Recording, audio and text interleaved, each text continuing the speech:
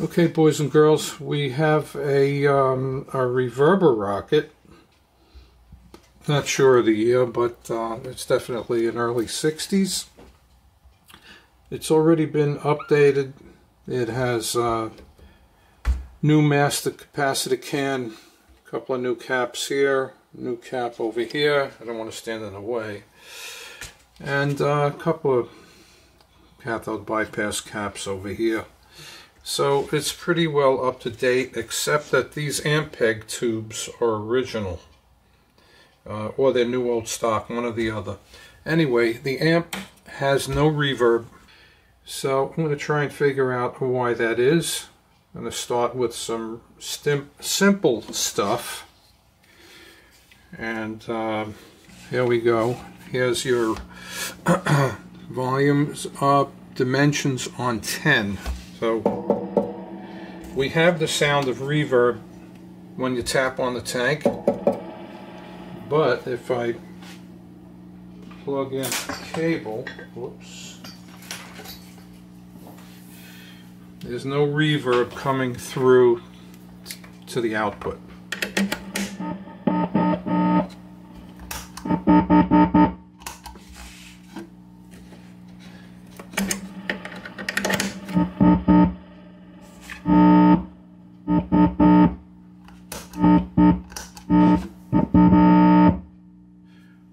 Should have a rich, swampy Ampeg reverb.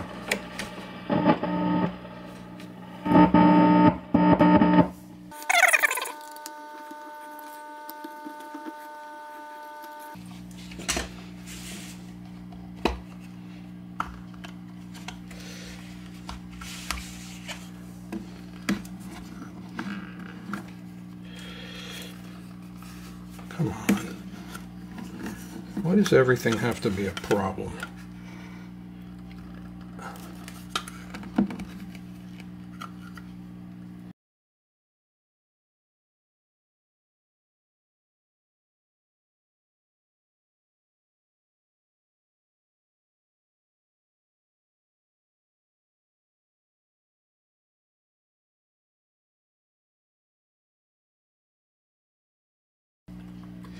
Looks like I'm going to have to cut it and redo it. This will not budge. Okay, you're getting cut. Red it goes to echo.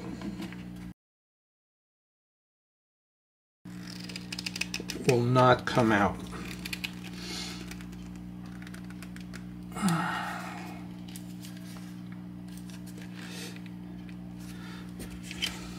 Okay, well, I'm going to cut it here. And if I have to, I will drill this these wires out. Which uh, isn't such a bad idea if I could find my drill.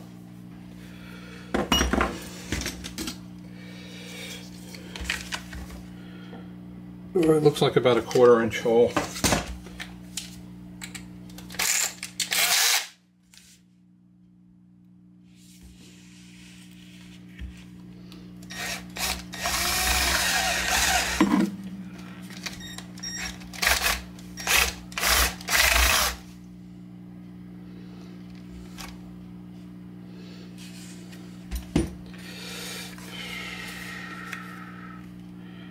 There's no way that I'm pulling this off. This is just unbelievable.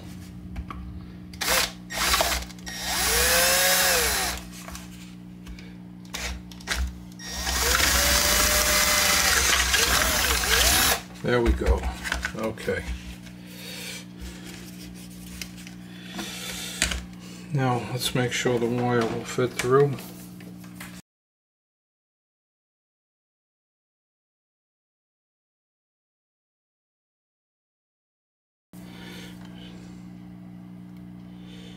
Open.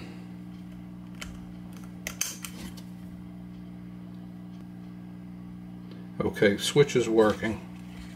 So now I have to clean it up.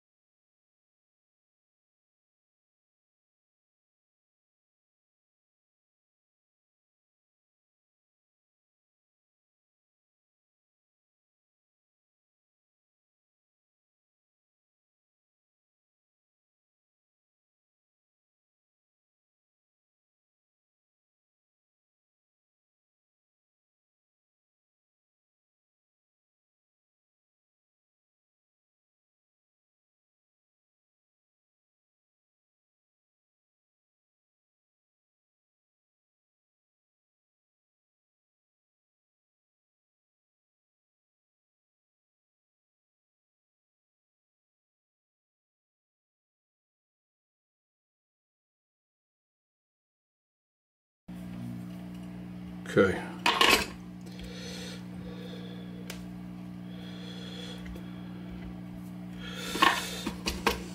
There's a lot of oxidation on these wires.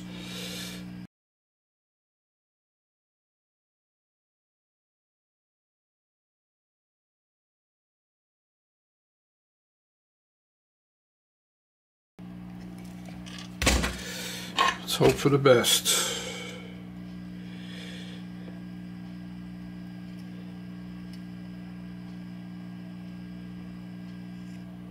Yeah, we're good.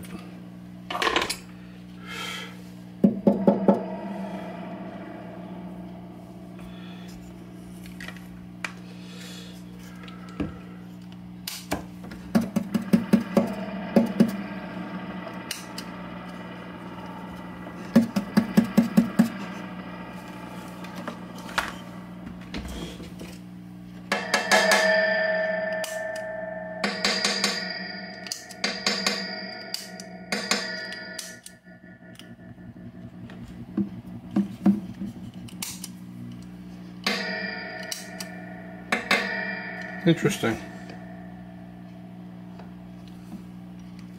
This is all good. Okay, next thing we got to do is make sure that we have a connection from the switch to the internal wiring in the amplifier. Alright, so I'm going to shut this off. Let's go back to here.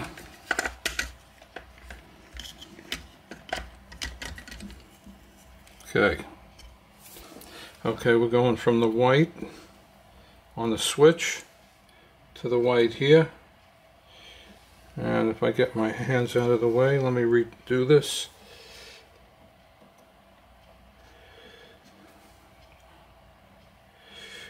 Okay, there we go. Good. Now the red.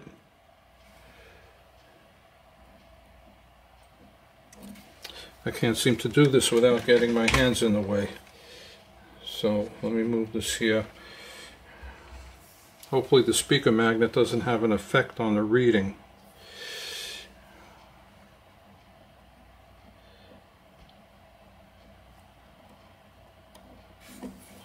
Sometimes the oxidation on these terminals can get in your way. Okay, so all is good here. Now let's try the ground.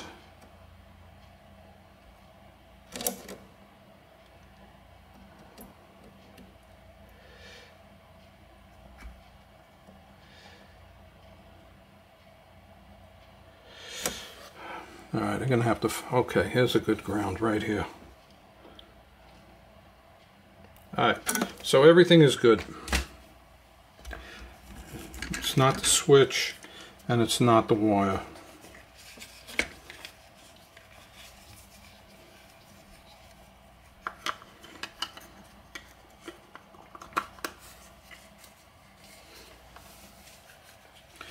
Before I'm done, I'll put a little bit of uh, rubber cement in here because I enlarged the hole a little bit. I realized I could have accessed it through here, but there's no way I was tearing this ancient rubber pad off, because I would have destroyed it. Okay, screwdriver. Alright, so we just eliminated the switch, is it's plural, switches, and the wire. So that's one thing down.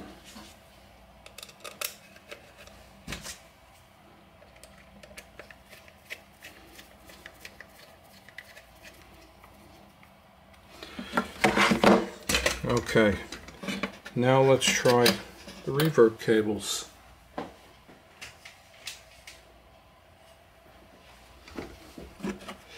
There's one,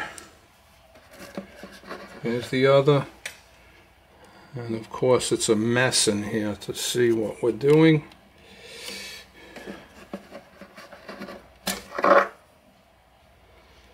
Okay, I'm going to put a little mark on this so I know what's what. Okay, one black line goes into here. So here's the, the other one, black line. Okay, here we go.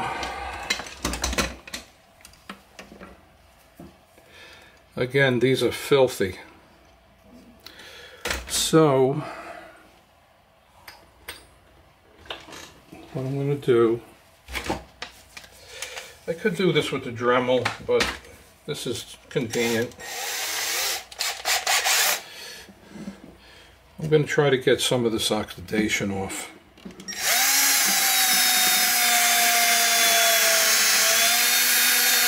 Oh boy, I better put on a mask.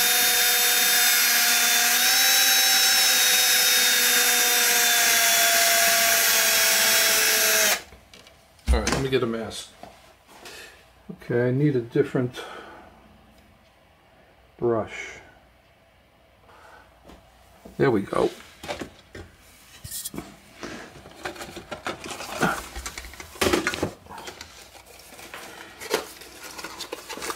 These really come in handy.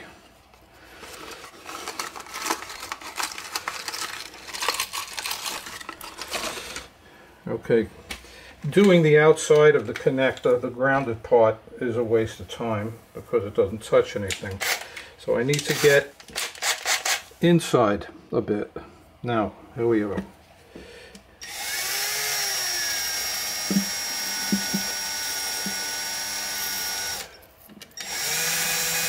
I'm not sure this is even going to get in there.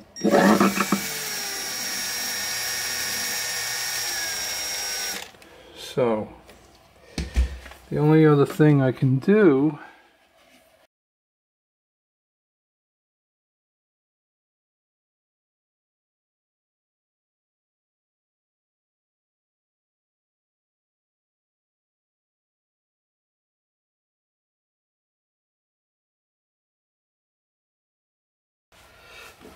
Okay, so I got this guy in there.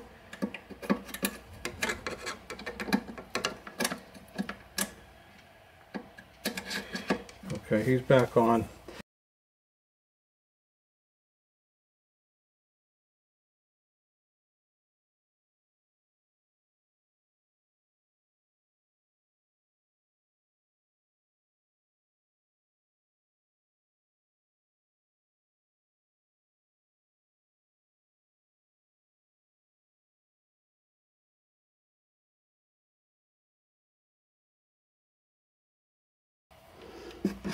Sorry if you can't see that, but I'm just inserting the bottle brush into the connector. Okay, now of course the reverb tank needs to be cleaned off. Try a different brush.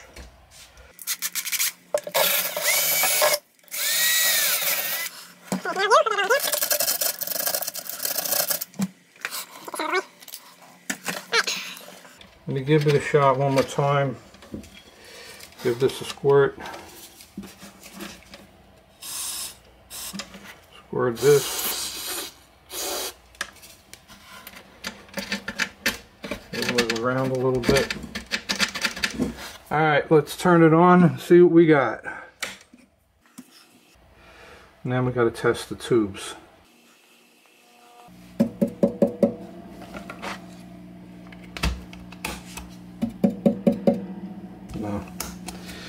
Think it's working.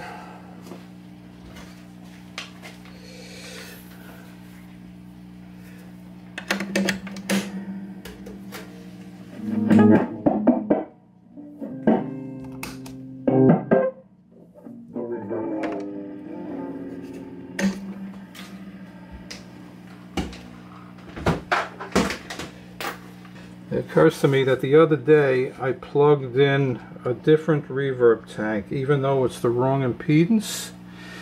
Um, it would give me some sound if the problem was this tank, and I didn't get any sound, so I'm going to have to look further. Alright, kill the power. Um, let me just see which tube is reverb. Of course, it could be more than one tube. Of course. All right.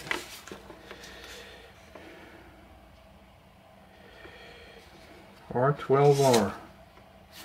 Here's a reverb unit. It says it's a V3. Alright, let's test V3. Oh boy, it's a Joint Army-Navy 6188, which I'm pretty sure is a replacement for a 6SN7. Let's see what happens.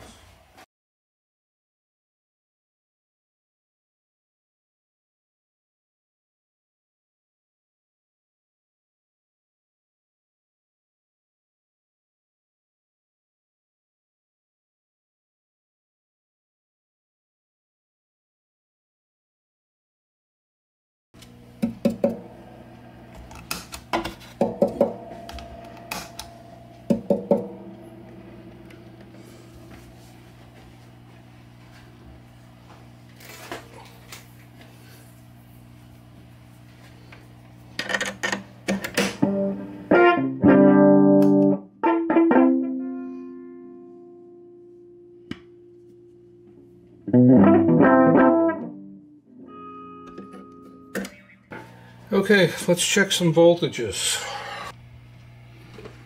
Hello everybody. To continue on from yesterday, um, while I was testing around, we had already tested the tubes. Uh, I checked the cables going to and from the reverb, make sure there was continuity going into the circuit. Uh, I tested, I tried a different reverb tank. Uh, what else? I checked the switches in the foot switch. I made sure that there was, and redid the cable uh, connections inside. Uh, so I have continuity going all the way in, into the amplifier. And um, anyway, I started exploring around, and I think this is a, I don't remember anymore, I think it's either a plate load resistor or it's a resistor that's used just to drop some of the voltage so that the plate of the tube has the right voltage to work well with it. But anyway, it's dead as a doornail. Uh, I'll just show you that. Just watch the meter. Zippo. It's open. So anyway, I just got the new resistor today. There's a 2.2, brand new. Soldered it in place. And bango, we got really nice, beautiful Ampeg Reverberocket reverb.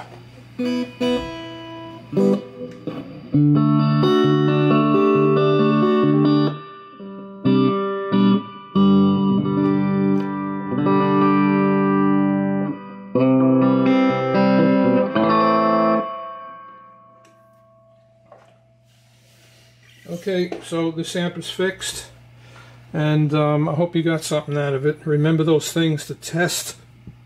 Um, make sure you've covered them all because any one of them could have caused the reverb to not work. Thanks for watching.